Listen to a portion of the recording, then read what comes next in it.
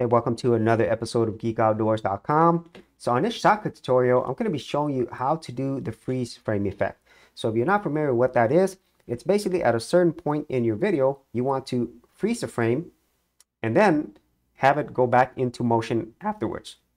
Now currently within Shotcut, there isn't a filter or effect that allows you to do this. But what they do allow you to do is actually take a snapshot or export a frame in your video and then import that back into your playlist.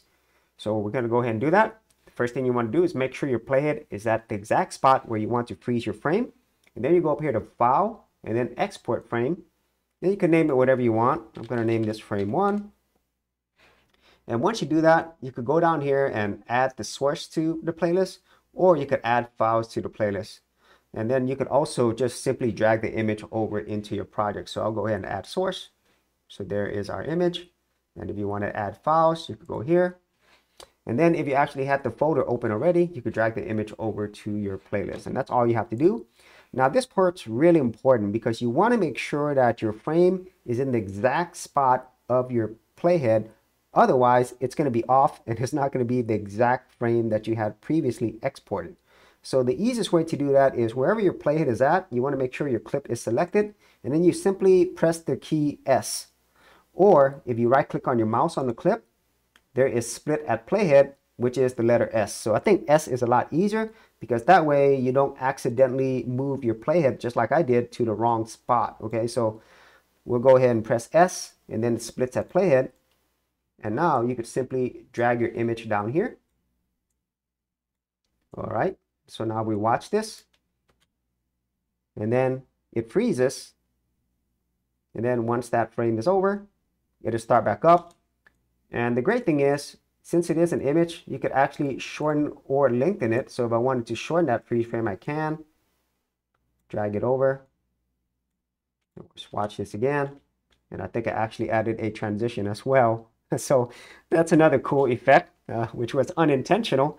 Or you can do some other things as well. To this particular image, you can add other filters, you know, whatever filters that you want.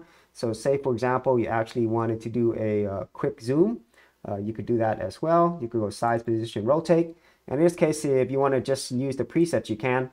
You know, there's already some right here. So you could go ahead and slow zoom in. You could try that. Or you could even use keyframes if you want more control. So we'll go ahead and do that. So I'll play this and then there's a slow zoom in and then the transition, boom. And you know, there's many other effects that you can use as well. There's also a shake one second scaled. So let's see how that looks like. So we'll just watch that. There's the freeze frame. so you can have a lot of fun with that. And there's many other filters that you can use as well. You know, obviously you could do many other things like adding text, adding other images, adding other videos. You could even add this on another track as well. But the overall way in which you could do this, it's fairly simple, I would say, as long as you're very careful on where your playhead is at. But hopefully in future updates of Shotcut, they will add a freeze frame filter or effect by default. So then we don't have to go through the step of taking a screenshot, importing it, and making sure it's in the right spot. So that's it for this particular video. If you actually had any thoughts on this or any other ways in which you do this, be sure to leave that in the comments area below. And if you did want to see more of my Shotcut tutorials and tips, I do have an entire playlist. I'll leave that in the description area as well. So as always, if you did get value out of these videos, be sure to share, like, and subscribe.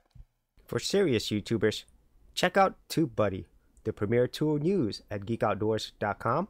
Get more done today by checking out the affiliate link in the description area below.